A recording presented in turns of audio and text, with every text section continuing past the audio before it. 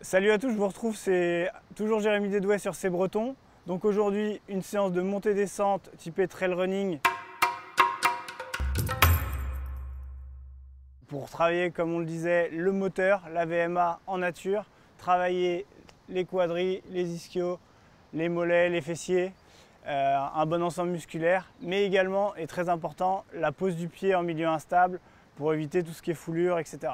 Cette séance, elle va être aussi bien pour un trailer confirmé qu'un trailer débutant ou alors quelqu'un qui ne fait pas du tout de trail et qui a juste envie de faire un petit complément musculaire et d'endurance. On peut la faire de trois manières différentes. Moi, pour ma part, je vais faire 3 fois 20 minutes avec 5 minutes de récup entre chaque. Euh, quelqu'un d'un peu moins confirmé pourra faire 3 fois 10 minutes avec 3 minutes de récup. Et enfin, celui qui souhaite euh, juste euh, aborder un petit travail de nivelé peut faire 3 fois 5 minutes avec 1 minute 30 de récup entre chaque. Le but c'est de sélectionner une petite côte à côté de chez soi. Moi pour ma part j'ai choisi une côte de 60 mètres de dénivelé pour 350 mètres de longueur, assez technique, avec des pourcentages allant jusqu'à 14% de, de côte. Mais le but c'est vraiment de trouver une côte à côté de chez soi qui vous fasse plaisir, le but c'est de passer du temps dehors, euh, que ce soit seul ou entre amis, et de se faire plaisir. Et avant de commencer les amis, il euh, ne faut surtout pas négliger euh, l'échauffement afin d'éviter les blessures.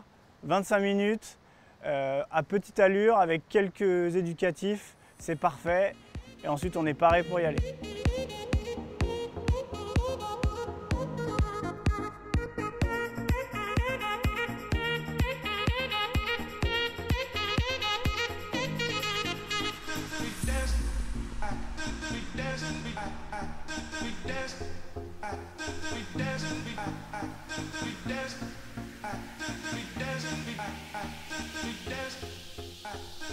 Pour cette séance, surtout n'oubliez pas, gardez la même intensité sur les trois accélérations.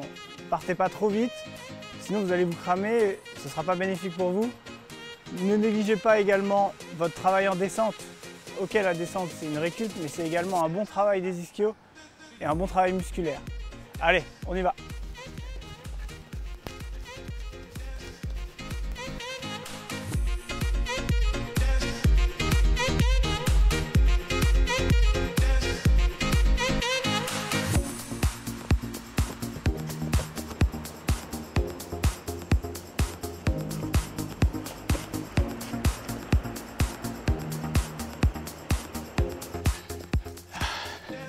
Si jamais vous avez un point de côté, faut pas s'affoler, vous appuyez dessus, vous vous concentrez sur votre respiration et vous essayez de vous relaxer à ce moment-là.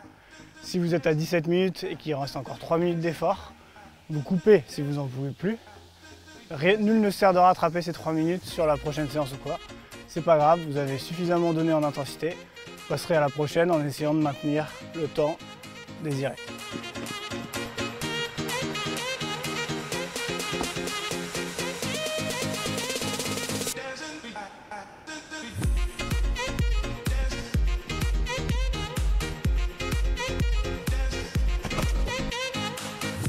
Alors, vu que vous êtes dans un effort assez intense, avec le cardio qui peut monter assez haut, la lucidité peut, être impactée, toujours rester très concentré sur euh, la pose du pied, euh, éviter tout ce qui est racines, cailloux, etc. Et essayer d'avoir la meilleure lecture possible de votre trajectoire afin d'éviter de vous blesser et de chuter.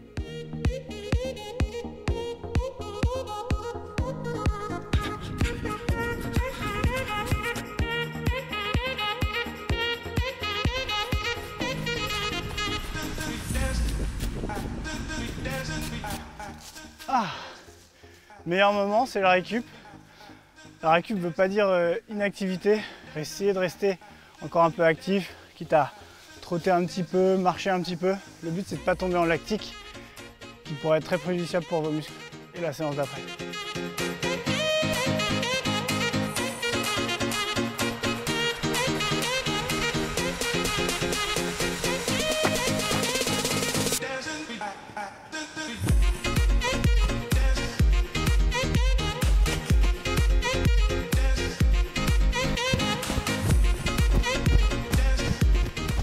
Et voilà les amis, j'espère que cette séance vous aura plu.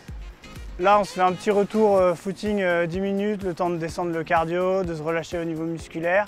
Ensuite, n'oubliez pas l'hydratation, petite boisson euh, post-effort, étirement et jambes en l'air, et vous êtes paré pour la prochaine séance. C'est Jérémy Desdouais, c'est breton.